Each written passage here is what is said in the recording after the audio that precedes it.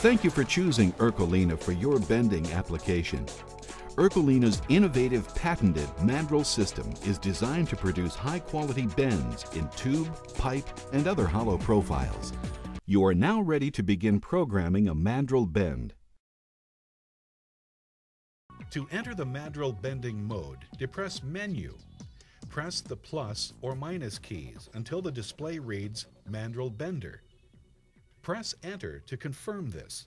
The display should now read Enter Password. Depress the cursor nine times. This is the password to access the mandrel bending program. Depress Enter. The display now reads Mandrel Bender. The yellow LED indicator will light up to confirm the mandrel bending setting. Next, you have to enter the data entry mode. To do this, depress Menu. The display reads One Data Entry Mode. Depress Enter. Your display should look like the one shown here. GRP refers to the group or program number. RPM are the speed spindle rotations. MDRL determines the degrees before the end of the bend that the mandrel should retract. MAS determines how the mandrel advances before the bending process. A setting of zero is recommended for alloys, copper, and soft aluminum. A setting of one is recommended for mild steel applications. Next, you have to select the desired program number. Depress the plus or minus keys to change to the desired program. The display will periodically flash the following message. To input data, push asterisk for 3 seconds. Go ahead and depress the asterisk for 3 seconds once you've selected the desired program. Now you will enter the bend angle. The cursor will blink over the bend angle position, prompting you to enter the desired bend angle. You may enter the bend angle by pressing the plus key or by using one of the quick preset angle buttons on the touchpad.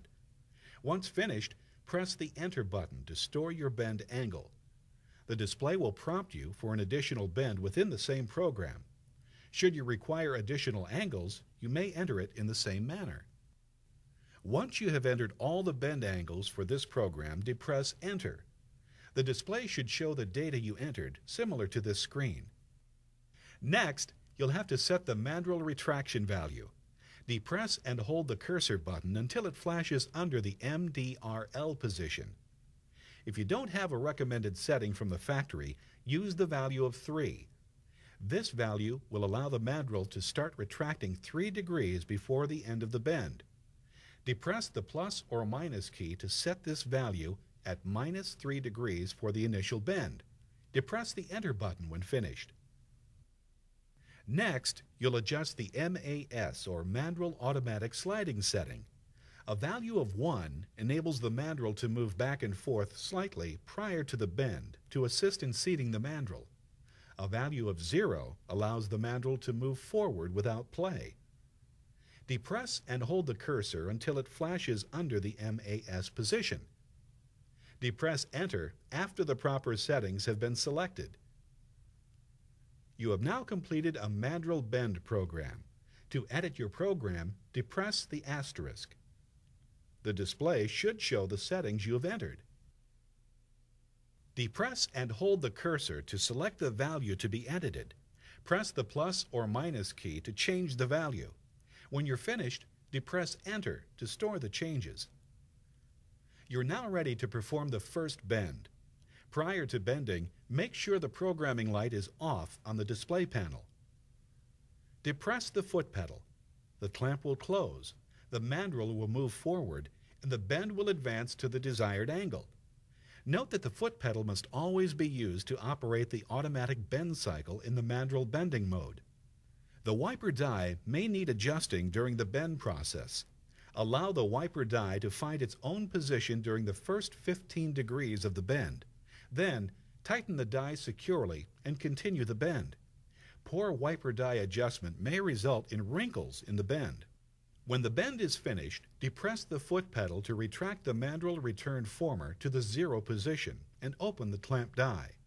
Should the mandrel fail to retract, keep the pressure and clamp die closed and increase the pressure of mandrel retraction by loosening the nut on the regulator and adjusting the set screw with a 4 mm hex key. Note that all mandrel functions can be accomplished individually by depressing the appropriate key functions in the order of sequence. To exit out of the mandrel bending mode, depress the menu button twice. Depress the plus button, then depress Enter. The display should now read Forward C Bend Die. Ercolina. Beware of imitations.